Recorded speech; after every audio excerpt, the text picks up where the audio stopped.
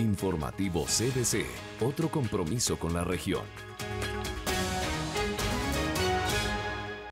Las obras de control de inundaciones, los embalses que permiten ahorrar agua para las épocas de sequía, el trabajo por las cuencas hidrográficas y los proyectos para asegurar el agua fueron dados a conocer por el director general de la CBC durante el octavo Congreso Internacional de Desarrollo Rural Sostenible Cambio Climático, Un SOS por la Vida, realizado en Palmira. En su intervención en el conversatorio del octavo Congreso Internacional de Desarrollo Rural Sostenible, el director de la CBC se refirió a obras actuales como el reforzamiento del Jarillón del Río Cauca y a inversiones históricas como la construcción de represas como Salvajina y el embalse Sarabrud, asegurando que preparan al valle para enfrentar el cambio climático. Además, resaltó los proyectos que buscan asegurar el agua en tiempos de sequía y la inversión de 750 mil millones dentro del plan cuatrienal, el trabajo por las 47 cuencas hidrográficas del departamento y la inclusión de un centenar de reinsertados en el programa Guardabosques para la Paz, que ha sido exaltado y será replicado por el Ministerio de Ambiente. Creo que fue un buen ejercicio porque la comunidad se enteró de en qué estamos orientados, diferentes entidades como el CIAT,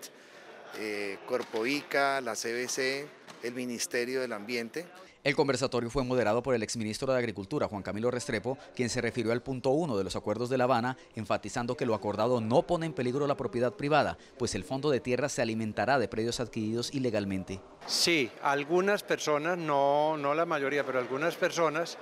han regado el rumor de que en La Habana se convino expropiar arbitrariamente tierras legítimamente poseídas en Colombia y eso no tiene ningún fundamento. Por su parte, el científico vallecocano Juan Carlos Borrero Plaza explicó su iniciativa de aprovechar el boom mundial de los vehículos eléctricos, las características topográficas de Colombia y sus temporadas lluviosas para construir pequeñas centrales hidroeléctricas de bajo impacto y convertir al país en exportador de energía limpia. La propuesta que nosotros hemos hecho es hacer granjas hidrovoltaicas sostenibles, es decir, que los dueños de la tierra donde se van a hacer las represas tengan representada en la superficie un área